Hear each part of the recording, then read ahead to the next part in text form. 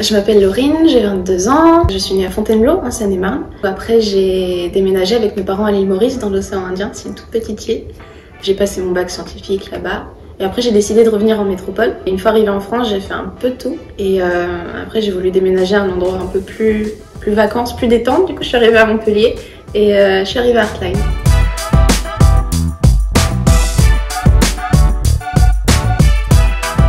J'ai choisi précisément Artline parce que j'aimais beaucoup euh, l'atmosphère qu'on pouvait y avoir. J'ai regardé beaucoup de documentaires sur, euh, sur euh, l'école, des vidéos YouTube, des... il y a aussi pas mal de personnes qui ont parlé dans mon entourage parce qu'il y avait via Instagram des publicités. Donc c'est pour ça que je me, suis, un peu plus intéressée à cette école-là. Elle semblait plus accessible, très jeune. Et je trouvais ça super intéressant. De... J'avais jamais contacté d'école avant. Je sais pas, c'est un feeling, un instinct qui m'a dit de venir.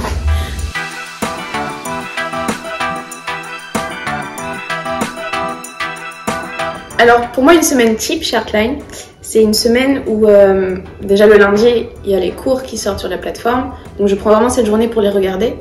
Après bien sûr je travaille généralement en journée, donc j'ai plutôt le soir pour moi. Et j'organise moi-même mon emploi du temps, exercice 1 le lundi, exercice 2 le mardi ou des choses comme ça. Et euh, comme lundi c'est mon jour de repos, c'est là où je peux vraiment regarder les cours. Et c'est plutôt le samedi ou dimanche et dimanche où je peaufine mes exercices que j'ai travaillé dans la semaine. Donc c'est vraiment une occasion de, bah, avec euh, les labs qui ont été faits pendant la semaine, les retours des, mentors, je peux vraiment peaufiner mon travail pour le rendre vraiment comme il faut euh, le dimanche.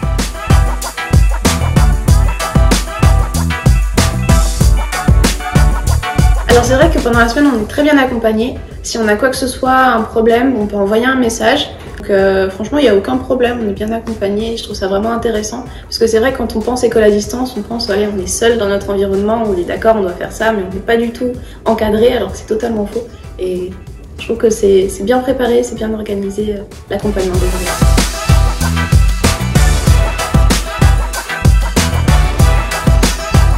Alors malgré le fait que ce soit virtuel, on arrive quand même à, rencontrer des gens et à tisser des liens parce que quand par exemple on, montre un travail qui n'a peut-être rien à voir avec les cours, les gens interagissent, donnent des conseils, donc c'est beaucoup plus facile de créer la discussion.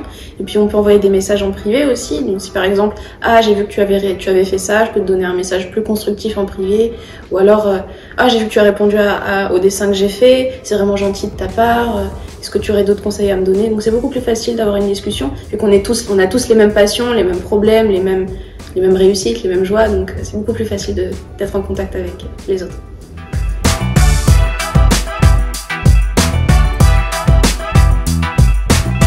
Avec les mentors, euh, c'est vraiment bien parce qu'en fait, il n'y a pas vraiment une relation de, de supérieur et inférieur. Je ne sais pas si je l'exprime bien, mais on voit vraiment qu'ils sont là pour nous aider, euh, qui sont vraiment dans le monde du travail, dans le milieu, donc ils donnent des conseils. C'est vraiment, bah, le mentor, c'est vraiment le bon mot.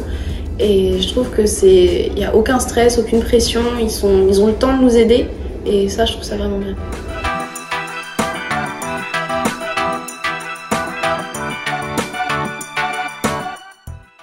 Depuis que je suis dans une école en ligne, euh, il y a plusieurs a priori qui ont été déconstruits.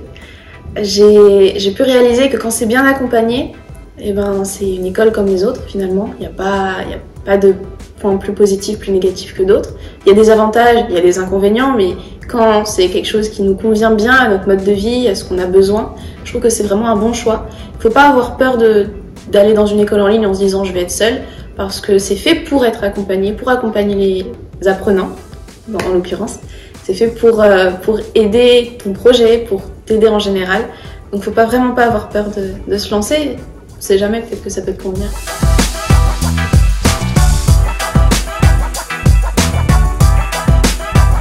Alors enrichissant parce que euh, c'est l'occasion de, rencontrer des personnes dans le milieu et des personnes qui souhaitent être dans le milieu.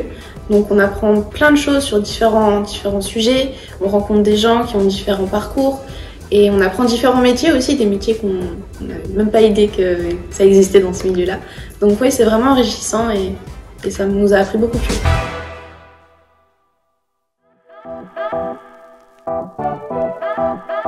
Alors c'est vrai que quand on se lance dans une formation à distance, c'est difficile de trouver un équilibre entre le travail et, les cours. Mais après, ça vient avec l'habitude. Ce que j'ai fait, c'est que j'ai pris un temps partiel et pas un temps plein pour pouvoir équilibrer les deux. Donc c'est un, bon compromis. Et euh, déjà, j'en ai parlé déjà à mon employeur que j'ai des formations à côté, donc il essaie de ne pas trop me mettre des, heures pas prévues dans mon, dans mon, temps de travail. Donc c'est plus facile quand on en parle, dire voilà, je suis à distance et je dois faire mon emploi du temps. C'est plus simple de pouvoir l'organiser à côté. Après, c'est l'habitude, c'est vraiment de l'organisation, donc ça vient avec le temps. On a du mal au début, mais après ça va.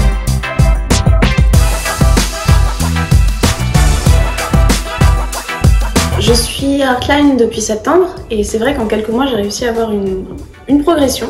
C'est vraiment motivant de nous voir euh, avancer et progresser pour l'avenir, surtout on se dit c'est que le début, dans trois ans qu'est-ce que je serai? J'ai réussi à développer trois points euh, qui sont vraiment très importants. C'est le travail beaucoup plus professionnel parce qu'on nous force à avoir un travail vraiment, un rendu pro. C'est vraiment très important. Devenir professionnel, c'est vraiment bien.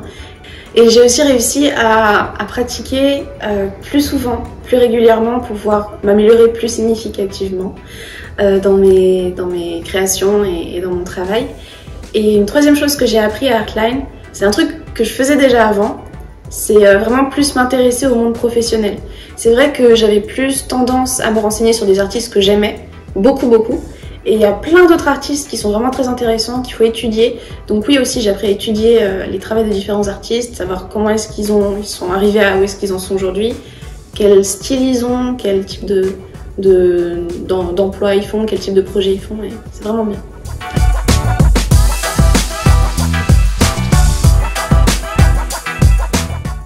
Après Artline, après mon bachelor, je, ne sais pas si je vais faire un master encore, mais après mon bachelor, j'ai envie vraiment de pas forcément faire de l'animation, mais faire du storyboard et de proposer des, projets à d'autres personnes qui font de l'animation. J'espère pouvoir réussir à, réaliser mes projets. J'aimerais bien vraiment faire plein de petites histoires animées ou simplement en, animatique, donc un storyboard animé.